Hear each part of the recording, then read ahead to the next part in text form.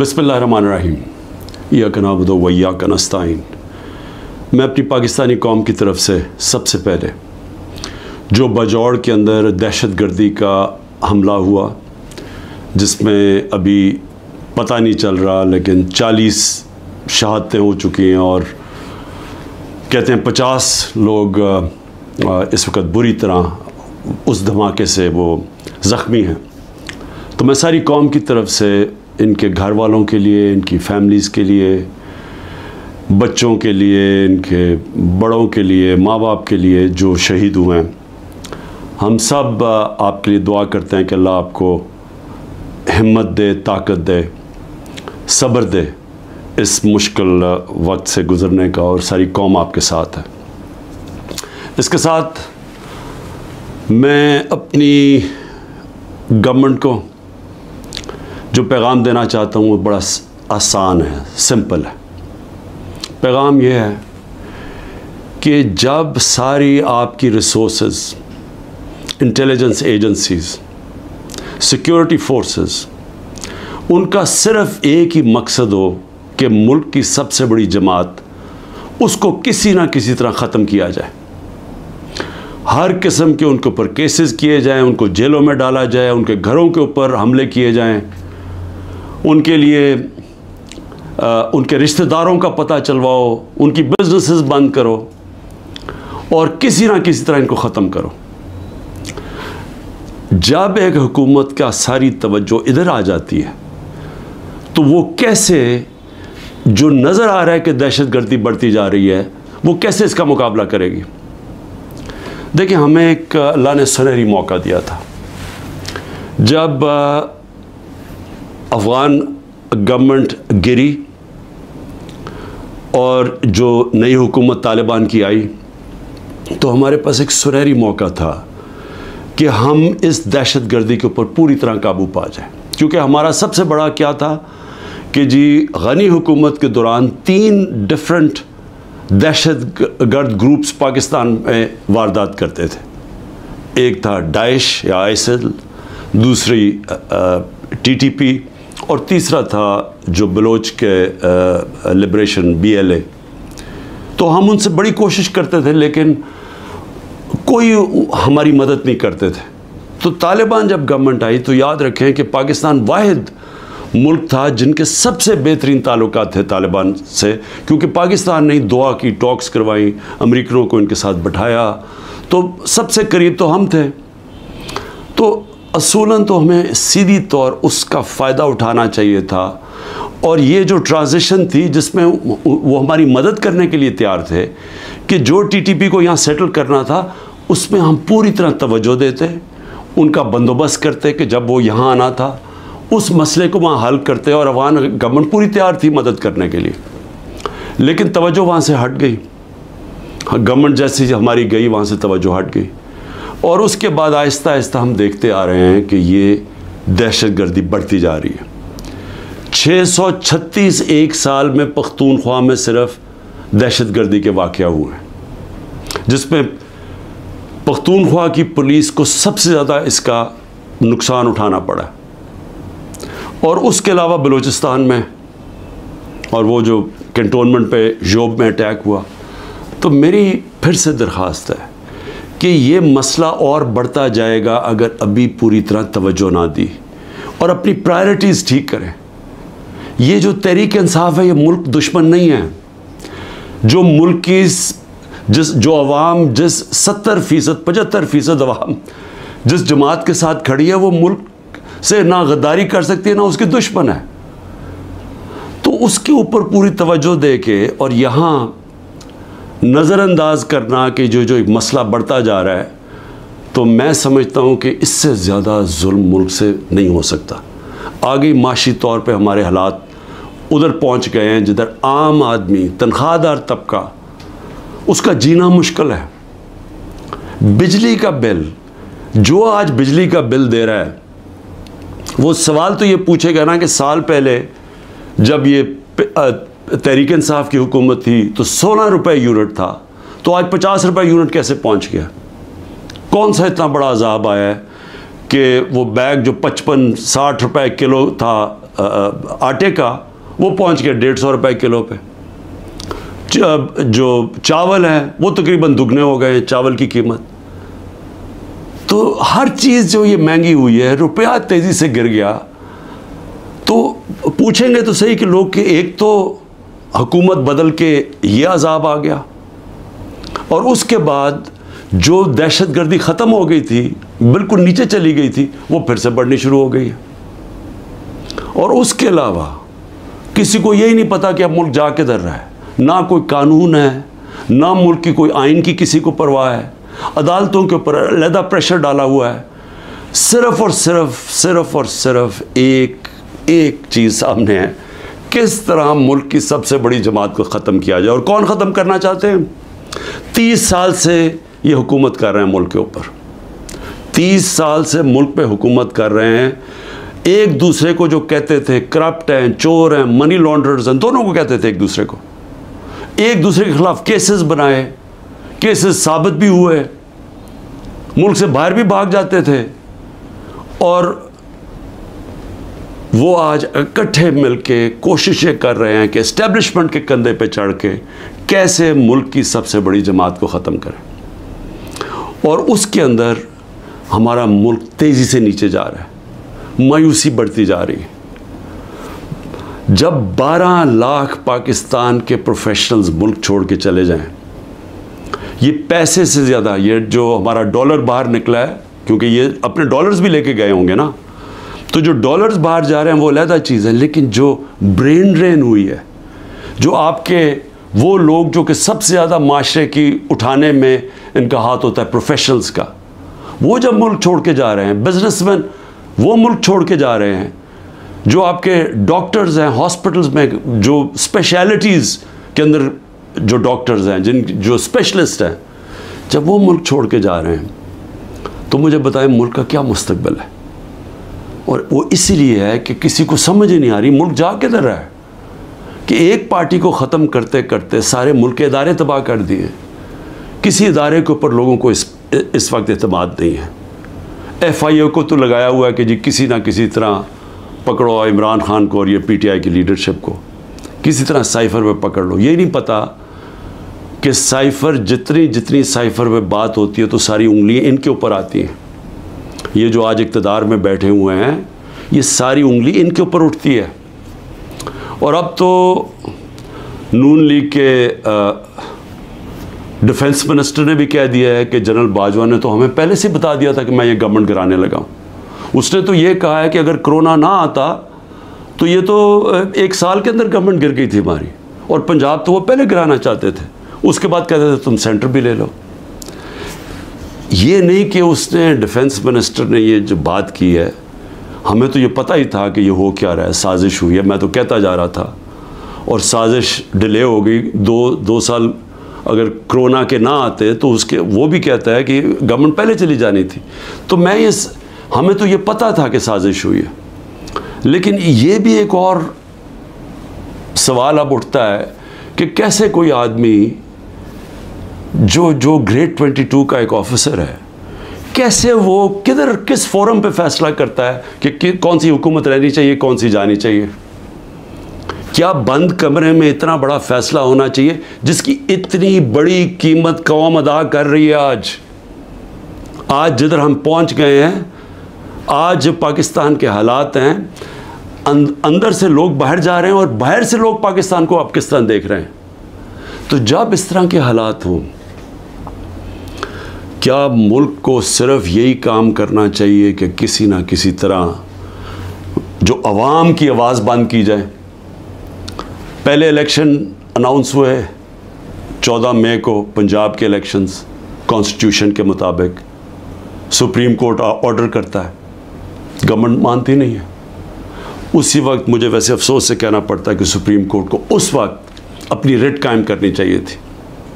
हमें अफसोस है कि वो उन्होंने इस हुकूमत को का, आइन को तोड़ने का, की इजाज़त दे दी। जब आपने उनको कोई एक्शन ही नहीं लिया तो इसका मतलब गवर्नमेंट और तो चौड़ी हो गई। अब तो खुल के कह रही है कि अगर सुप्रीम कोर्ट फैसला भी करता है मिलिट्री कोर्ट्स पे हम मानेंगे नहीं। क्योंकि अब तो उनके उनके लिए तो पाकिस्तान अब जो ताकतवर बैठा हुआ है, वो फैसला करेगा, आइन का कौन सी शिक माननी है, कौन सी नहीं माननी। तो मैं सिर्फ़ इसका ये आगे बढ़ने से पहले ये जो जनरल बाजवा की बातें अब सामने आ रही हैं, कई ऐसी बातें हैं जो मैं इसलिए नहीं करता, मैं अपने इदारों को नुकसान नहीं पहुँचाना चाहता। लेकिन जो ये जिस तरह उन्होंने एक साजिश करके गवर्नमेंट गिराई और कैसे वो मिले हुए थे दूसरों के साथ, ये जो ये जो पीडीएम के लोगों के साथ, कैसे उनके रबते थे और कैसे उन्होंने जो सबसे बड़ा जुल्म किया कि एहतसाब का अमल ख़त्म किया। एहतसाब याद रखें कि जो करप्शन केसेस थे, मैं बार बार कहता हूँ, पचानवे फ़ीसद हमारे पहले के करप्शन केसेस आ रहे थे। हमें विरासत में मिले थे, हमने नहीं बनाए थे। मेरे ऊपर तो आज 200 केसेस तकरीबन हो चुके हैं चंद महीने के अंदर। इनके ऊपर दो दो तीन तीन केसेस थे और वो सारे पुराने बने हुए थे। पचानवे फ़ीसद पुराने केसेस थे। हमें तो वो जो एहतसाब का अमल था वो भी जनरल बाजवा ने इसलिए नहीं चलने दिया क्योंकि उनकी पहले से डील चल रही थी, बातचीत चल रही थी। लेकिन मुल्क को आज कितना नुकसान हुआ, वो कौन सा फोरम है जिसके अंदर ये जायज़ा लिया जाएगा कि एक किस तरह के फ़ैसले ने इस आवाम को कितना नुकसान पहुँचाया? मैं दूसरी बात जो करना चाहता हूँ वो ये कि देखिए, मुझे जो सबसे बड़ा मुझे खुशी थी वो ये कि तहरीक इंसाफ पहली जमात थी जिसने ख़वातीन को पॉलिटिक्स में लेके आए यानी उन्होंने शिरकत की पाकिस्तान की सियासत के अंदर। मुझे फ़ख्र इसलिए है कि ये जो पाकिस्तान मूवमेंट थी, उसमें मेरी वालदा बताती हैं कि औरतें कितनी शिरकत करती थी उस पाकिस्तान मूवमेंट के अंदर। तो ये पहली दफ़ा इस तरह औरतों ने इतनी तादाद में शिरकत की। हम जो बाई इलेक्शन जीते याद रखें कि जो हम बाई इलेक्शन जीते हैं, तीस, सैंतीस में से तीस बाई इलेक्शन हम जीते हैं, उसमें औरतों का बहुत बड़ा टर्नआउट था। यहाँ इलेक्शन कमीशन को मुसीबत पड़ी होती है कि अगर इतनी औरतें ना पोलिंग स्टेशन पर निकली तो हम इलेक्शन कैंसिल कर देंगे। यहाँ रिकॉर्ड टर्न आउट हुआ औरतों का जिससे हमने बाई इलेक्शन जीते। लेकिन जो इस हुकूमत ने किया है, औरतों के साथ जो किया है पहले तो ये छोड़े ना कि हमारा दीन क्या कहता है, कि कैसे किस, क्या रवैया हमारा होना चाहिए इस्लाम में औरतों के साथ। उसके बाद हमारा जो कल्चर है, मैं बार बार लोगों को बताता हूँ कि मैं जब पहली दफ़ा बाहर गया पाकिस्तान से तो मैं हैरान हो गया। इस तरह की औरतों की इज़्ज़त बाहर नहीं है, मगरबी माशरे में नहीं है, जो कि हमारे माशरों में है। और जिस तरह औरतों को सड़कों पे घसीटा, जिस तरह उनको जेलों में डाला, जिस तरह अभी तक जिस तरह औरतों को जेलों में रखा हुआ है। और मैं यानी हैरान हूँ कि क्या डॉक्टर यास्मीन किसी जलाने घराने, जला, ये बिल्डिंग जलाने में थी, मुलविस? क्या आलिया आलिया हमज़ा थी? क्या तयबा थी? क्या सनम थी? क्या खतीजा, इन्होंने कोई बिल्डिंग जलाई है? इनको इतनी बड़ी सज़ा कि अस्सी दिन से ये जेलों में हैं और और भी औरतें कोई जी जियो फेंसिंग में कोई औरत मिल गई, उसको पकड़ी जेलों में डाल दिया। और उनके बच्चे हैं और उसके बावजूद उनको जेलों में रखा हुआ ये कौन से माशरे में होता है? और ये पुरमन एहतजाज था। पुरमन एहतजाज आइन हमें हमें हक देता है। ये पाकिस्तान का कानून नहीं तोड़ा था किसी ने। जो लोगों ने जाके कोर कमांडर हाउस जलाया था, उसके ऊपर पूरी तफ्तीश होनी चाहिए और सज़ा मिलनी चाहिए। लेकिन उनको भी तफ्तीश करें, वहाँ कोई सीसीटीवी कैमरा लगे थे, सेफ़ सिटी के कैमराज थे। पता तो चले कि क्या हुआ है। हमें पता है कि अस्की टावर्स किसने जलाए हैं। हमारे पास एविडेंस है। रेडियो पाकिस्तान की एविडेंस मिल रही है कि पिशावर किसने जलाया तो एक वन साइडेड व्यू दे के तो सारों को ये ऊपर एक्शन ले लिया, जिसमें औरतें जेलों में डाल दिए। और औरतों का उनके जो बाहर औरतें उनसे क्या हो रही हैं? वो छुपी हुई हैं। हमारी जो तंजीम की औरतें थी, उनके घरों के ऊपर अटैक्स कईयों के खामद को पकड़ के ले गए। कईयों की बिजनेसेस बंद कर दी, जो खामदों की हस्बैंड्स की बिज़नेस बंद कर दी। यानी वो इतनी मुश्किलों में उनको डाल दिया और कई तो छोड़ के चले गए पॉलिटिक्स ही हम, उन्होंने कहा, जी, हम नहीं कर सकते ये। कौन कर सकता है ये? मुझे बताएँ, जिन औरतों के बच्चे हों जिन औरतों के खामद हों, भाई हों, बाप हों, वो जब देखेंगे कि ये हो रहा है औरतों के साथ, कौन इजाज़त देगा अपनी औरतों को पॉलिटिक्स में आने के लिए? और इससे बड़ा जुल्म क्या हो सकता है कि 50 फ़ीसद आपकी आबादी, आप उनको पॉलिटिक्स से बाहर निकाल दें? जबकि वो शिरकत करना शुरू कर दिए थी। एक सियासी शोर पैदा हो गया था, जिसमें औरतें, क्या बच्चे, नौजवान, बूढ़े, लेकिन जो औरतों की शिरकत थी, मुझे ऐसे लगता है कि ये प्लान के तहत, ये प्लान करके औरतों को सियासत से बाहर किया जा रहा है। जिस तरह इन्होंने ओवरसीज़ पाकिस्तानी की वोटिंग कैंसिल करवाई, हमने जो इनको वोटिंग राइट्स दिलवाए थे, हमने इनके पूरी सिस्टम के कैसे इन्होंने शिरकत करनी है पाकिस्तान की इलेक्शन डे के ऊपर, पाकिस्तान के इलेक्शंस में वोट डाल के, वो इन्होंने ख़त्म करवाया ओवरसीज़ पाकिस्तानीज़ को। जिनका, जिनके पैसे पे मुल्क चलता है वो ओवरसीज़ पाकिस्तानी, अगर वो अपनी रेमिटेंसेस रोक दें, आधी भी थोड़ा, आधा भी पैसा काम कर पाकिस्तान बैंक बिल्कुल ही बैठ जाएगा। उनकी उन्होंने बंद करवा दी, क्योंकि वो ओवरसीज़ पाकिस्तानी ज़्यादातर तहरीक इंसाफ के थे, उनकी वोटिंग राइट्स ख़त्म करवा दी। और अब आके औरतें, जो इन्होंने नज़र आया इनको कि औरतें निकल रही हैं इलेक्शन में वोट्स डाल रही हैं, जो बाई इलेक्शंस तहरीक इंसाफ जीती, उसमें औरतों का बहुत बड़ा हाथ था। इन्होंने अब उन औरतों के ऊपर ये जान के सख्ती और जुल्म कर रहे हैं ताकि वो भी पॉलिटिक्स से बाहर हो जाए। और मैं फिर से कहता हूँ, इससे बड़ा माशरे पे क्या जुल्म कर सकते हैं आप? कि सिर्फ़ और सिर्फ़ ये चोरों का टोला ऊपर मुलवस करने के लिए ये सारे हरबे इस्तेमाल किए जा रहे हैं, ये जुल्म जुल्म किया जा रहा है इस मुल्क के साथ। और मैं, क्योंकि अशूरा भी ख़त्म हुआ, मैं सिर्फ़ अपनी कौम से एक बात कहना चाहता हूँ। देखिए, हमने हज़रत इमाम हुसैन की शहादत से क्या सीखा? हमने सबसे पहले ये चीज़ सीखी कि जो ला इल्लल्लाह, जो जिसका अल्लाह जिसको ईमान दे देता है और जिसको इलामा इकबाल कहते हैं इश्क। और मैंने एक, इलामा इकबाल का फ़ारसी में मैंने ट्वीट भी किया है और मैंने उसको अपनी इंस्टाग्राम और सारे फोरम्स पे कहा है कि वो फ़ारसी का है लेकिन उसमें अंग्रेज़ी में भी और उर्दू में भी पूरा उसका तर्जमा है। तो इलामा इकबाल उनकी शहादत को कैसे देखते हैं? इतनी खूबसूरती से उन, उन्होंने बताया हुआ है कि ला ला का मतलब आज़ादी और आज़ादी खौफ से भी आज़ादी अपनी मैं से भी और वो आती है इश्क अल्लाह से। अल्लाह से इश्क करने से। और वो है, जब ला ला जब आप अपने जेन में दादा दावा कर देते हैं, फिर आप किसी के सामने नहीं झुकते। तो जब पता था कि वो पूरी की पूरी फौज सामने खड़ी है, पीछे नहीं हटे, झुके नहीं।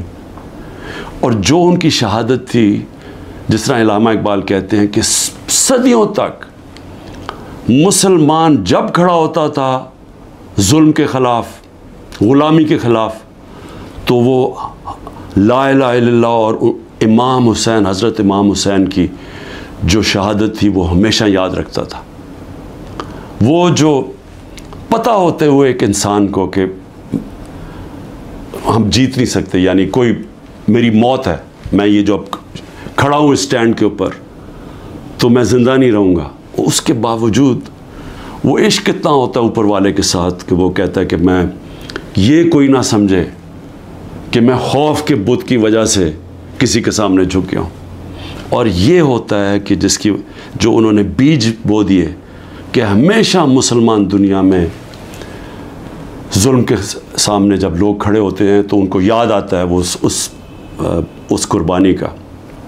और ये भी याद है रखें कि यजीद ने कैसे ये जुल्म होने दिया था। वो क्यों कामयाब हुआ? क्योंकि कोफा के लोग इतने खौफजदा थे, उसने अपना गवर्नर ालिम गवर्नर को रखा था वहाँ। उसके जुल्म की वजह से वो इतने सहमे हुए थे, वो इतने डर गए थे यजीद के जुल्म से कि वो वो निकले नहीं।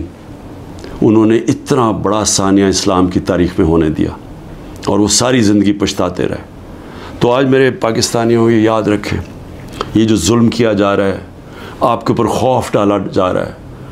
कि ये जी, वो जेल में पकड़ लेंगे, वो घर तोड़ देंगे, वो ये कर देंगे, वो मार देंगे, वो वो वीगो डाला आ जाएगा। आप इससे अपने आप को आज़ाद करें। ये जिस वक्त आपने ये फ़ैसला किया कि हम राय हक के ऊपर खड़े हैं, हम जुल्म के सामने नहीं झुकते, हम अपनी आज़ादी ले लेंगे। हम ये छोटा सा तबका जो टोला ऊपर बैठ के, सारे मुल्क के वसाइल के ऊपर भी काबू करके बैठा है। चोरी ये करता है, मुल्क पैसा बाहर भेज देता है। एहतसाब जो आम लोगों के लिए छोटी छोटी चोरियों में लोगों को जेलों में भरा हुआ है और जिन्होंने नहीं भी चोरी की, ताकतवर के सामने वो आता उसको जेलों में डाल देते हैं। लेकिन इनके लिए एनआरओ मिल जाता है इनको। अगर इनके जुल्म के खौफ की वजह से हम हम डर जाएँगे तो हमारे सामने बदतरीन किस्म की ग़ुलामी है। और अगर ये इस मौके पे, तारीख के इस मौके पे हम खड़े हो जाएँगे, हम अपने आप को आज़ाद कर देंगे। और आज़ादी आएगी इंसाफ से। जब हमारे हकूक़ की, हमारे अदालतें हिफाजत करेंगी, जब किसी की ज़रूरत नहीं होगी किसी के घर में घुस के तोड़ने का, किसी की ज़रूरत नहीं होगी झूठा केस करने के लिए। मेरे ऊपर 180 से ऊपर केसेस हैं। मैं पिछले दो महीने में तकरीबन साढ़े तीन सौ मुख्तलिफ़ केसेस के अंदर अदालतों में जा चुका हूँ। एक एक दिन में उन्नीस केसेस का मैंने सामना किया। और मैं ये करता जाऊँगा। हो सकता है कि मैं ना कर सकूँ ये मुझे जेल में, क्योंकि पूरी कोशिश करें जेल में डालने की। मैं उसके लिए तैयार हूँ। लेकिन मैं ये बताना चाहता हूँ कि ये जो मर्ज़ी कर लें, मैं खड़ा हूँ। मैं किसी सूरत, ये इनके हरबों की वजह से, इनके जुल्म की वजह से मैं किसी सूरत इनके सामने झुकूँगा नहीं। और मैं ये चाहता हूँ आप भी सारी कौम फैसला कर ले कि हम ये ालम के सामने नहीं झुकेंगे और इन हम आज़ाद हो जाएँगे। पाकिस्तान जिंदाबाद।